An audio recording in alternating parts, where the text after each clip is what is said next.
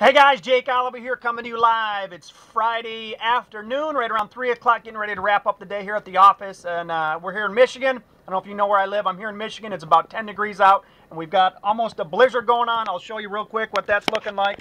Not too bad out, I guess but it was snowing pretty good. We're looking to get three to four more inches tonight. And uh, I mean, it's Friday, so we're having fun here. I'm going to go home and see my beautiful wife. I love to hang out with her. And uh, I mean, that's what I do, what I do. You mean, to learn more about me and what I do, you can reach me at my blog at www.jakeoliveronline. I'd love to hear from you. Shoot me a comment, shoot me a message, and connect with me. If you don't know what I do, you mean, again, I've got a beautiful wife, Libby, and, and three beautiful children. Jason's eight years old, Jaden's seven years old, and we got a new baby girl, Lila. She's 10 months old, already 10 months old, you guys.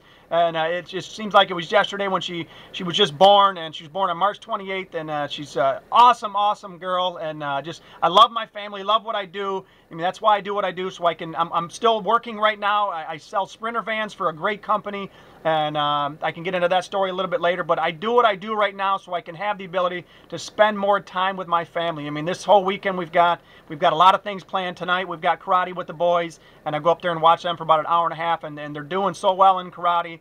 And then tomorrow we've got some events planned, and then Sunday we've got we're going to go to some wrestling matches to, to go hang out my brother and my sister over there, and with their kids, they've got wrestling on that. So just super excited about where we're going. I hope you're having a great 2013. And if you're not, if you're not having fun in your business, if you're not having fun in your life, guys, you need to find out and do something different. I mean, if you're not having fun and doing things that you want to do, I mean, that's what life's about, guys. It's having fun, hanging out with your family, and doing what you're supposed to be doing. I mean, I don't care where you live.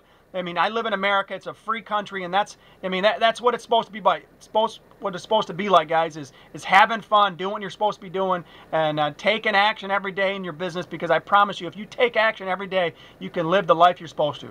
Okay, so enjoy the weekend. Happy Friday. You mean, let's connect through my blog again, www.jakeoliveronline. Have a great weekend, and we will talk to you through the weekend. If not, we'll talk to you on Monday. Take care. Bye bye.